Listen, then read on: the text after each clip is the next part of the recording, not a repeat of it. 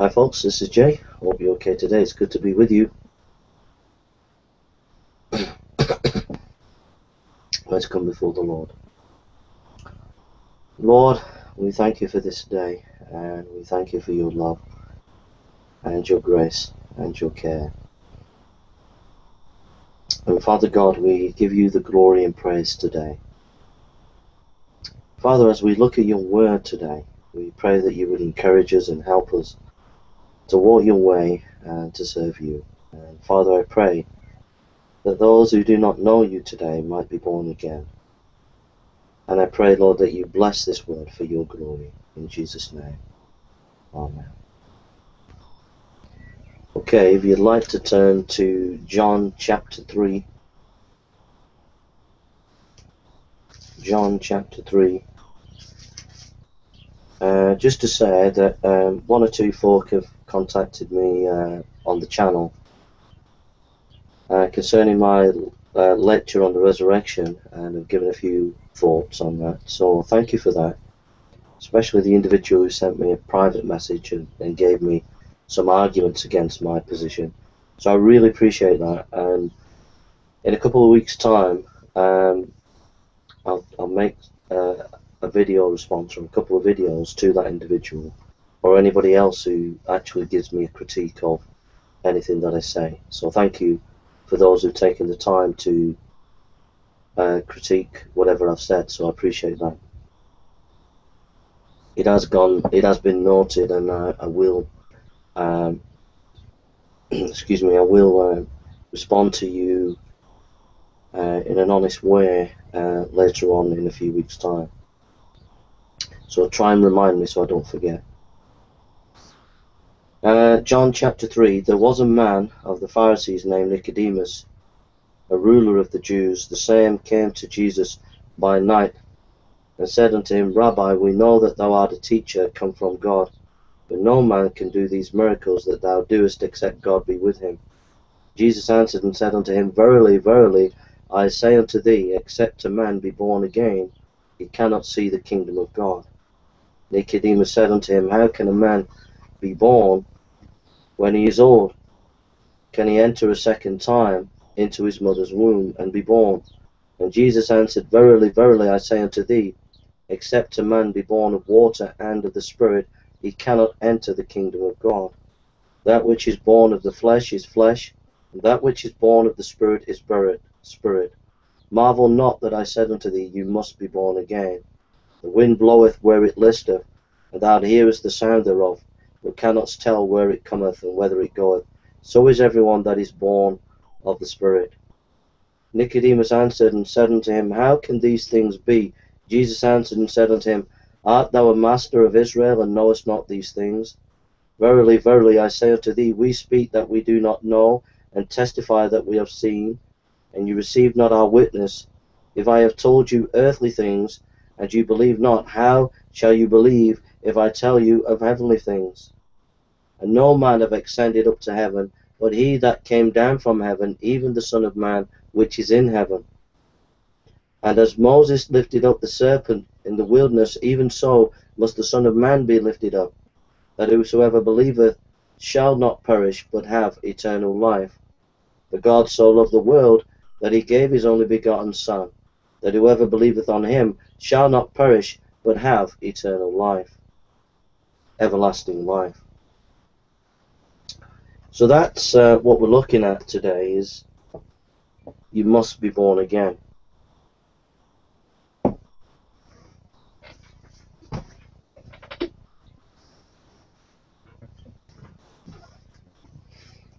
a lot of people today, uh, young people will say, well, I don't have to think about Christianity because what I can do is I can just go on holiday, I can go out with my girlfriend or boyfriend and do all the things I want to do as a young person. And then when I've done all those things in years to come, when I'm much older, I can consider following Jesus. That's a very dangerous position to take. While you're young, it's important to find your Maker and to trust Him.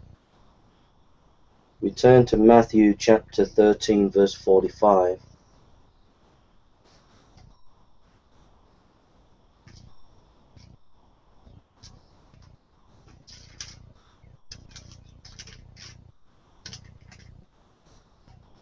Matthew 13:45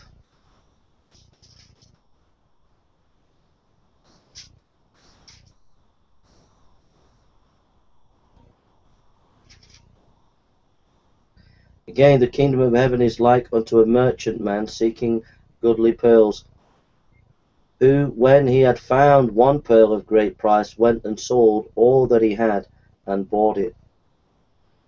So, the Lord describes himself as a pearl. And if you knew where there was a pearl today, on a beach somewhere, and you knew there was a pearl there, but you didn't know exactly where it was, you'd be down there looking for it straight away. But Christ is the great pearl. You know, there are some massive pearls that you can can uh, that exist that are worth millions. The Christ is the greatest pearl of all, and He's precious. He's worth everything. So,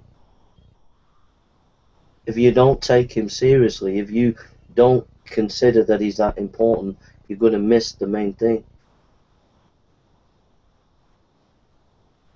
He is the pearl of great price. And Nicodemus knew this. Nicodemus knew that Jesus Christ was the pearl of great price.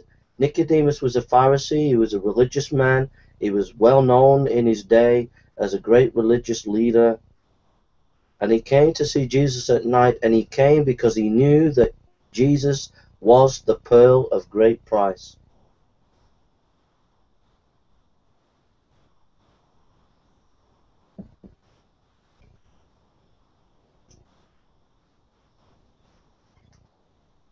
John chapter 3, verse 1.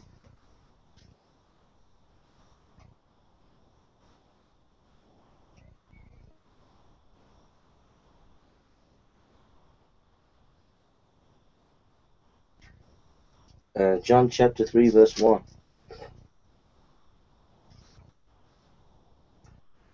There was a man of the Pharisees named Nicodemus, a ruler of the Jews. The first thing is, Nicodemus was religious.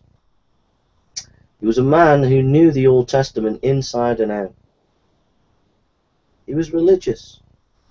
But yet he, he knew that his religion wasn't good enough. He knew that he had to come and see Jesus. Religion will not get you into the kingdom. Saying you're a Baptist, a Methodist, an Anglican, a Catholic, a Muslim, a Jew, a Hindu, a Sikh, whatever, that's not going to save you saying you're a good religious person or you do Reiki or you do whatever, the occult tarot cards or whatever, religion, whatever type it is, is not going to save you. It didn't save Nicodemus and it won't save you. Matthew 15 7.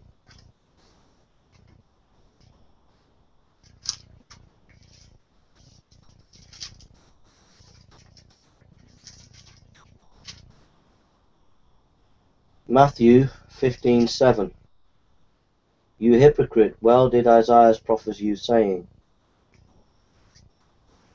People draw nigh unto me with their mouth, and honoureth me with their lips, but their heart is far from me. But in vain they do worship me, teaching doctrines and commandments of men. The Lord called out the religious and said they're hypocrites, and we can be hypocrites if we say we're following a religion is it coming from the heart, or are we just doing things outwardly? Nicodemus had an outward religion that was not from the heart, and he knew that he needed something deeper. It's no good saying I'm a Baptist, Methodist, Anglican, Catholic, whatever. Do you know God in your heart? Philippians chapter 3, verse 4 and 7.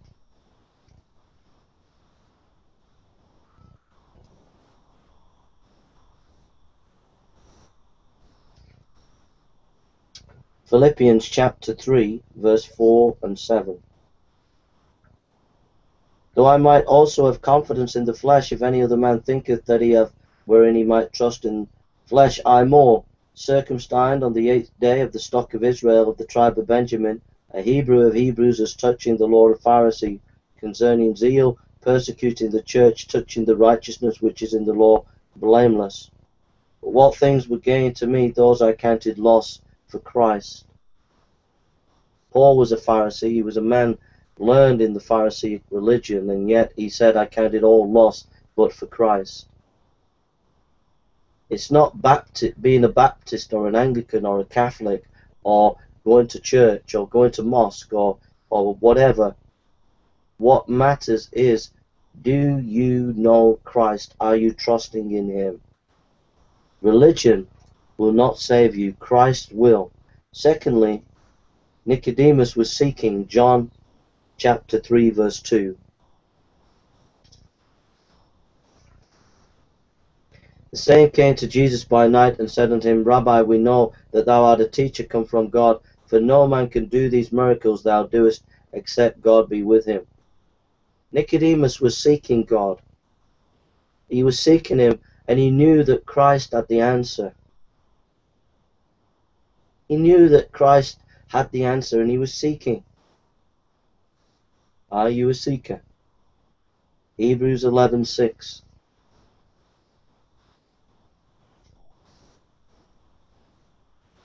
Hebrews 11:6 Now, before I read this, I meet many people on the streets and many universities. And there are, are two types of people. There are people who are seeking and there are people who are not. Those who are seeking genuinely want to discuss and ask questions. They want to know about the Christian faith. Those who are not seeking just want to argue for the sake of argument. Are you a seeker? You will never find God unless you're a seeker. Hebrews 11:6. But without faith it is impossible to please him. For he that cometh to God must believe that he is, and that he is the rewarder of them that diligently seek him.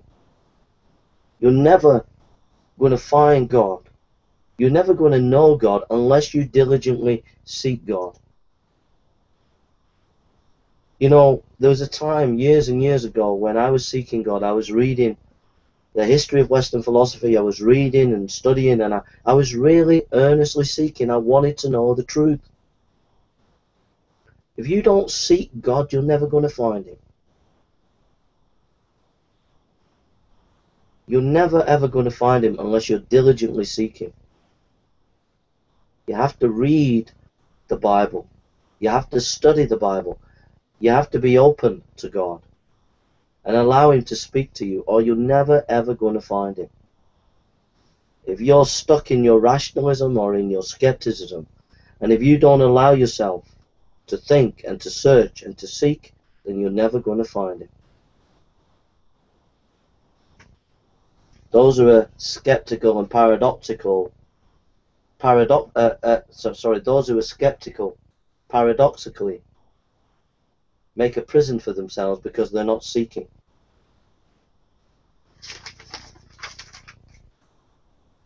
Nicodemus was challenged, John chapter 3, verse 3 and 8.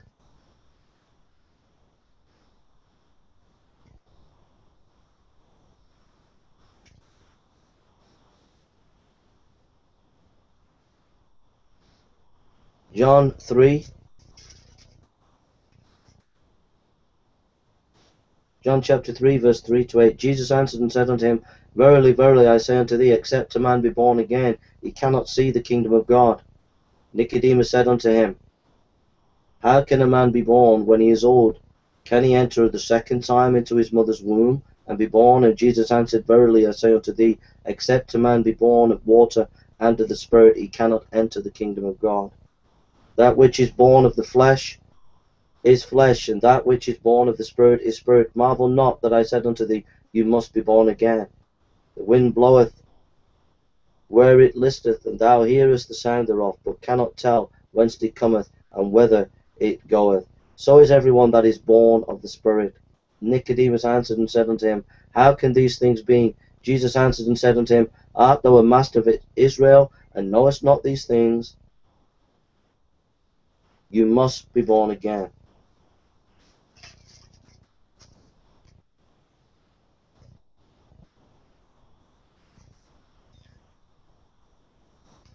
the Greek word for born again means born from above. It's kind of like here's a glass with some water in, and the water fills the glass. Your heart is like the glass, and the water is like the Holy Spirit, and the Holy Spirit, when you are born again, born from above, the Holy Spirit comes and dwells in your heart. The Holy Spirit is love, joy, peace. The Holy Spirit is God. And the moment you believe in Christ, you are born again. The Holy Spirit comes in your heart, fills it like water fills a, glass. And you can drink more and more of God and know God and be refreshed of God.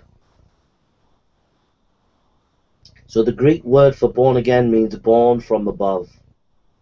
It means the Holy Spirit comes to dwell in you. Now this was a challenge to Nicodemus. All his life it, it, it depended on his rationality and he depended on his religion. But now God, it, Jesus is saying to him, you must be born again. You must have a radical change of heart. You must have a radical dynamic relationship with me, the living God. You must be born again, born of the Holy Spirit. Just as water comes into a glass, so the Holy Spirit comes into your heart. You must be born again.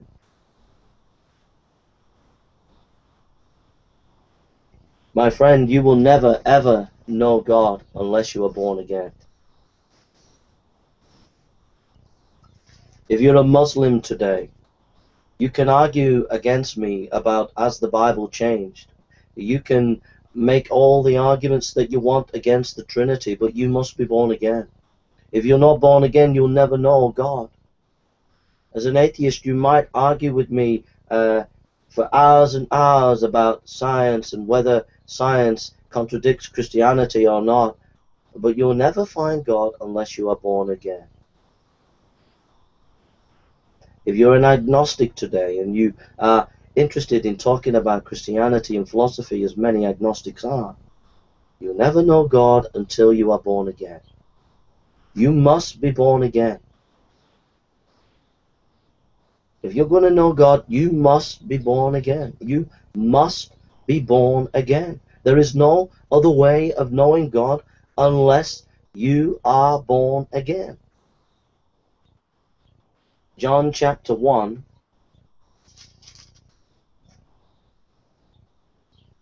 verse 12 and 13. But as many as receive him, to them gave he the power to become the sons of God, even to them that believe on his name, which were born not of blood, nor of the will of the flesh, nor of the will of man, but of God. They were born of God. Only God can give you a new heart. Only God can change your heart. Only God can give you love for Him.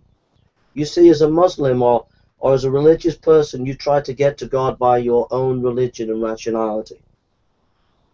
By a, a, an atheist or a skeptic, you try to climb the ladder by rationality. But God can, cannot be climbed up to, He must come down to you, and the only way He can come down to you is if you're born again, as if until he puts his nature in you, you will not like him, you will not enjoy him. Until he puts the nature of the Holy Spirit within you, you will never know God. Until you, as a Muslim, are born again and the Spirit of God enters you, you will never ever be able to know God. You will be trapped in religious practice, in religious observance, and that goes for any religious person out there or any scientist or rationalist. You'll be trapped in your rationalism, closed in, unable to experience the liberty and knowledge of God because you do not have the nature of the Holy Spirit dwelling within you. And unless that is in you, you will never know God.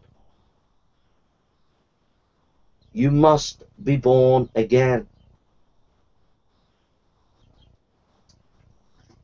2 Corinthians chapter 2 verse 10 and 15. 1 Corinthians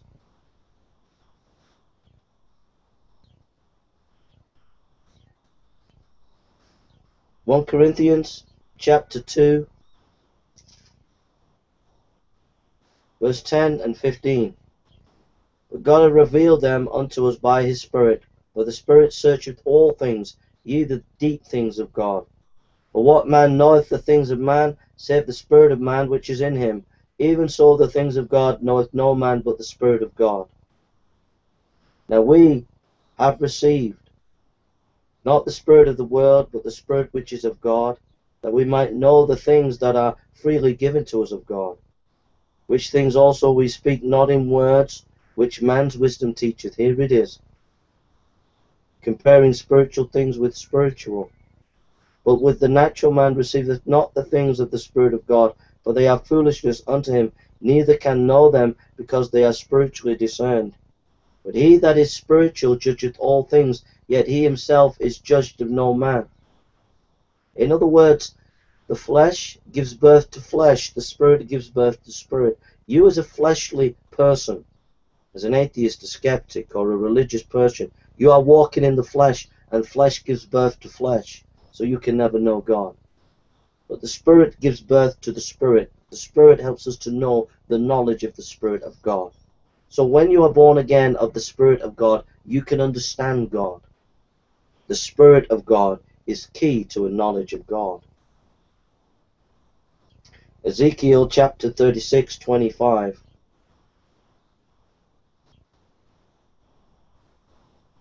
Ezekiel 36,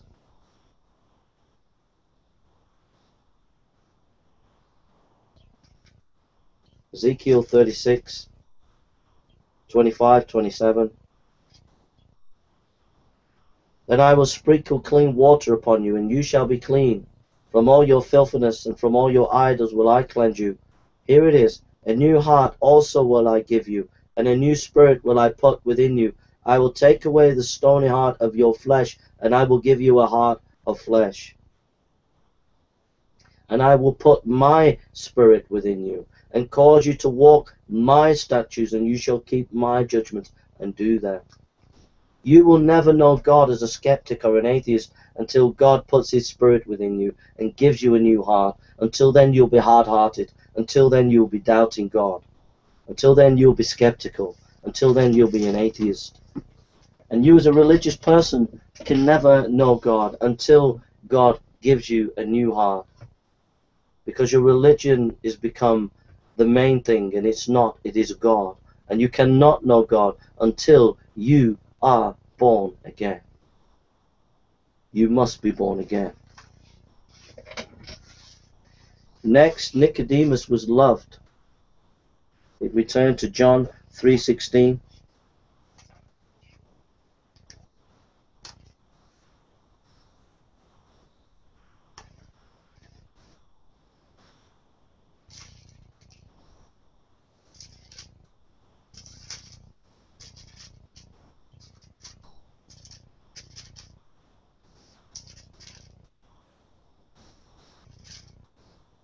John 3:16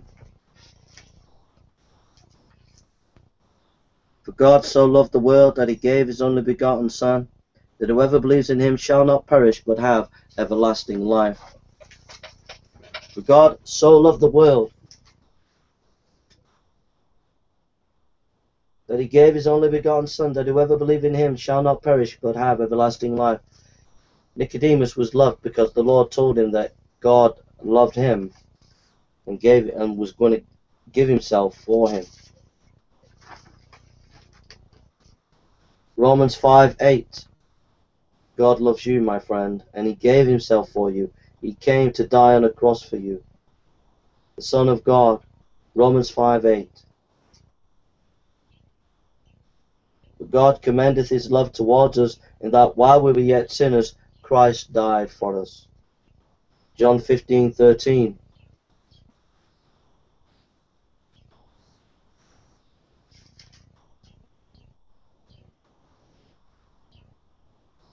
Greater love have no man than this, that he lay down his life for his friends. Christ laid his life down on that cross for you that you might live.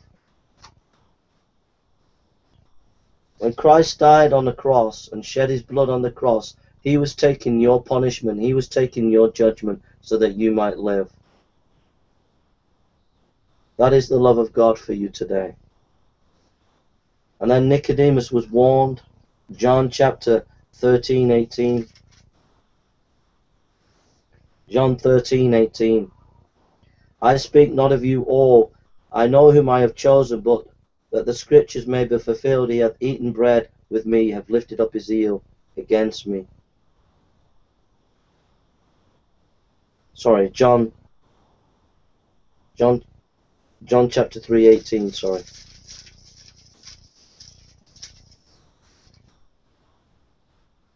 He that believeth on him is not condemned, but he that believeth not is condemned already, because he hath not believed in the name of the only begotten Son of God. If we do not believe, we are condemned. There is a judgment. We turn to Matthew 3 7.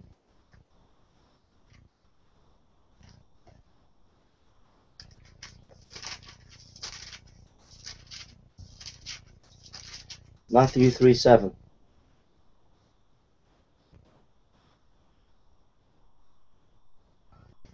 But when he saw many of the Pharisees and Sadducees come to his baptism, he said unto them, O generation of vipers, who hath warned you to flee from the wrath to come? John the Baptist said, There is a wrath to come. Ephesians 5 5.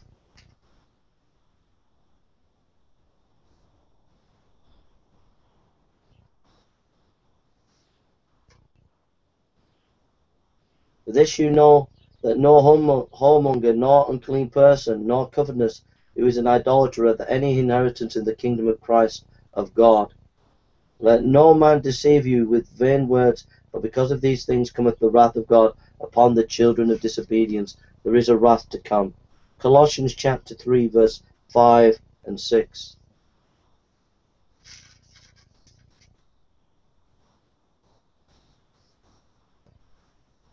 Colossians 3, verse 5 and 6.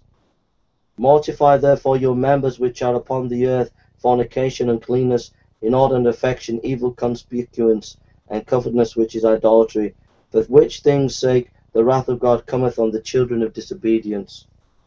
The wrath of God is coming. Nicodemus was warned about the wrath to come.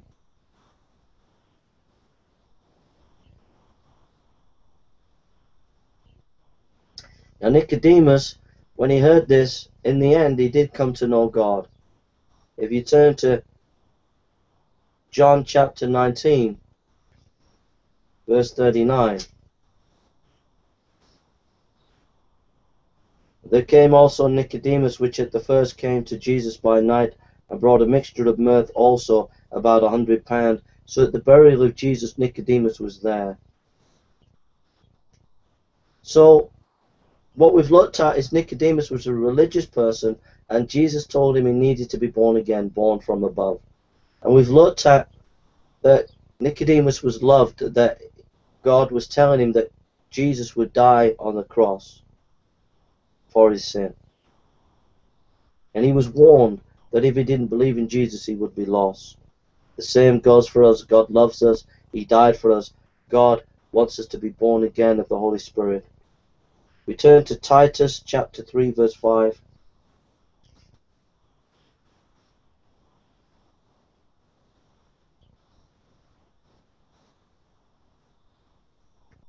Titus chapter 3 verse 5 Not by works of righteousness lest we which we have done but according to his mercy he saved us by the washing of regeneration and renewing of the Holy Ghost I'll read that again. Titus 3:5 Not by works of righteousness which we have done, but according to his mercy he saved us by the washing of regeneration and renewing of the Holy Ghost. He saved us by the washing of regeneration. That is another way of saying by being born again. Regeneration is the new birth, the Spirit of God coming into our hearts. 1 Peter chapter 1 verse 23.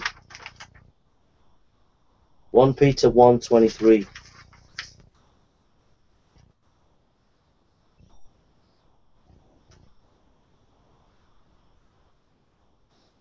When he was reviled, sorry,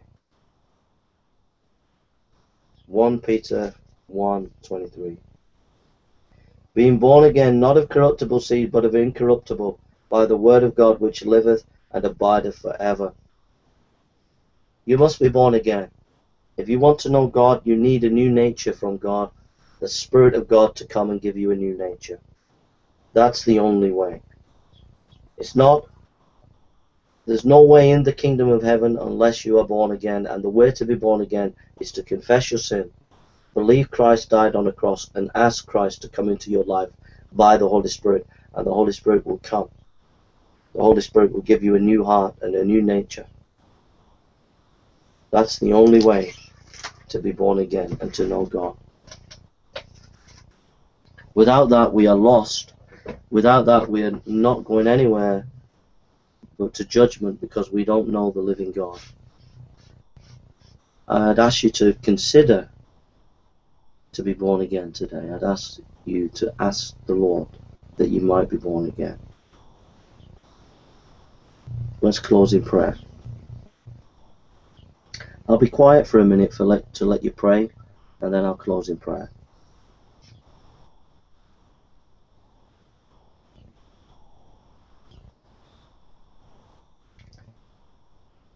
Father God, uh, we come before you today, and maybe the message has been a strange message for many.